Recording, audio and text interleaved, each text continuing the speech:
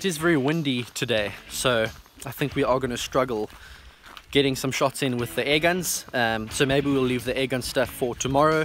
Um, maybe we'll focus today on the 22-250, uh, take it out to do some ground squirrel hunting maybe. Um, because that's something really struggled with last time in the in the strong wind with the air gun. So we'll get the 22-250 out, do some varminting, ground squirrel varminting today, and then hopefully tomorrow, if the wind calms down, we can take the air guns out and maybe shoot some dassies. They've got a permit here to shoot dassies all year round. So we'll take the, the air guns out, maybe find some rocky areas and some dassies, get some cool shots on the scope cam. But for now, it's the 22-250 in the ground squirrels. Let's go do it.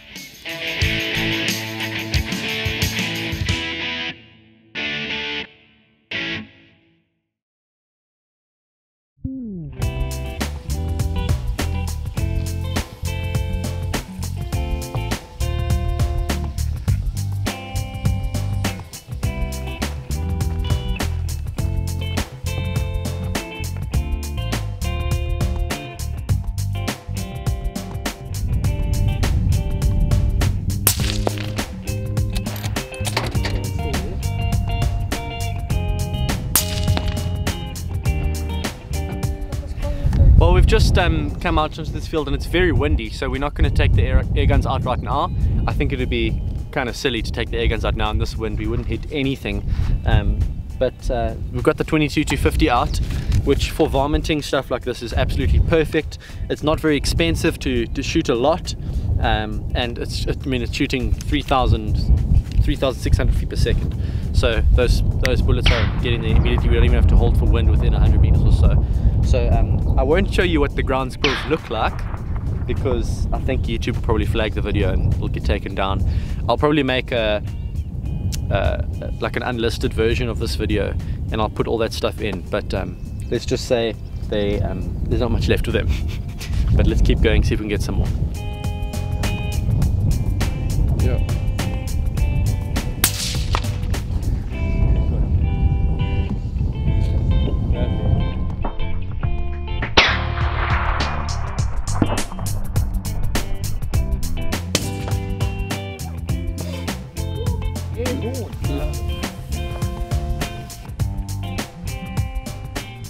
So it's varminting today and uh, more specifically we are going after the ground squirrels.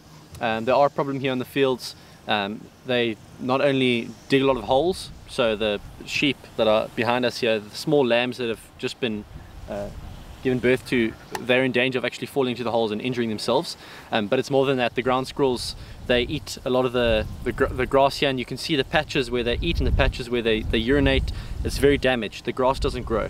So there are a problem, there are pest animals and we do like to shoot them. And in the past we've come out here with the air guns and shot them, but um, we really struggled last time with the air guns. In this wind, um, the wind's picking up even more now and I think it's just going to get worse in the afternoon. The wind makes things very difficult. So even though with long distance shots you can take, maybe have some time to range the animal, take a shot, it all happens very quickly and to estimate the wind correctly is a real struggle.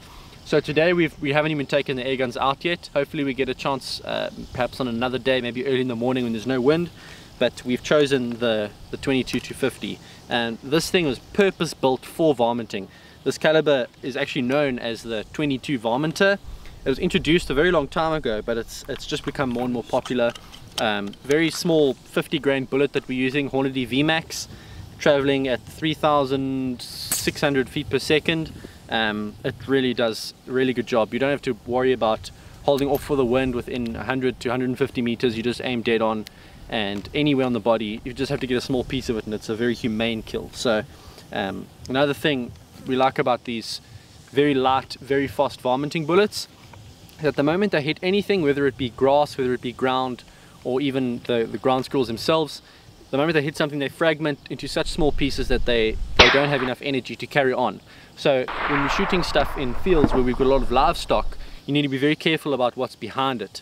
Um, the 260s out here, I don't think it would be smart to, to do any varminting with the 260s. Um, you know, it would be expensive as well, but from a safety point of view, it's much safer to use something small and light like a, a, a Hornady VMAX, which probably is even safer to use than a very heavy pellet, actually, because the pellets can actually ricochet. So um, that's doing a really good job, and I think we're just going to keep at it and see what else we can get.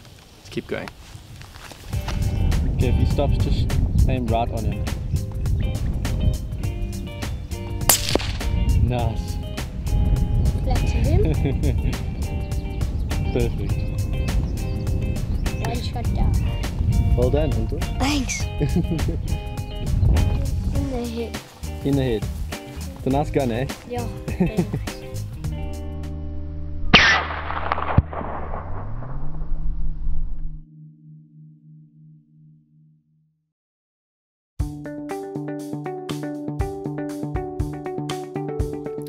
With the sun starting to beat down on us, we head back to the farmhouse, but the shooting certainly doesn't stop. We find a shady spot, we look for some rocks about 700 meters away, and we make the most of the wind, practicing our wind calls and seeing just how close we can get.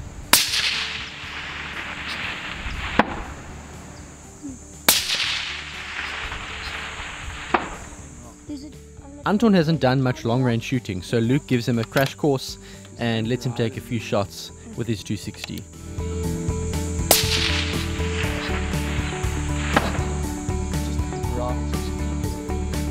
Eventually, the clouds move in again and the temperature drops to a more survivable level.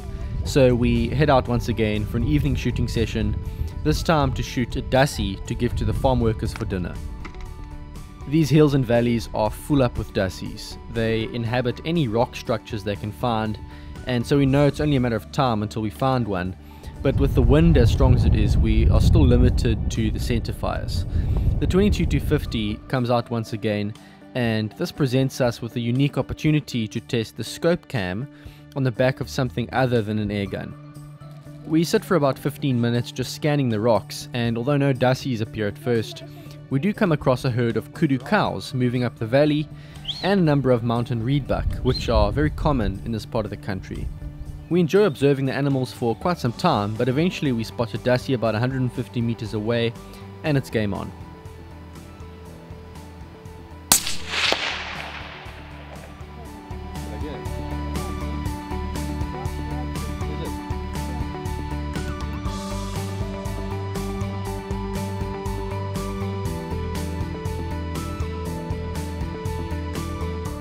That's one way to shoot a dassie. Um, in the past, we've come out here and shot them with air guns and rimfires. Um, but we had an opportunity here in the wind across the valley from about 150, 160 meters. Um, managed to get that shot on the scope cam, which is something you can only do with a small caliber. Um, you know, obviously with air guns and rimfires, but small caliber centerfires like the 22-250. And um, obviously went for the headshot because the 22-250 is such a destructive little cartridge. But here's our dassie. I'll show you the side of his head that isn't blown apart. Um, so Dassie, also known as a rock Hyrax, and all the meat is intact because we shot the head. So we're going to take this back and we're going to put him in the pot, and he'll definitely be be eatable. So that's a great way to end the evening.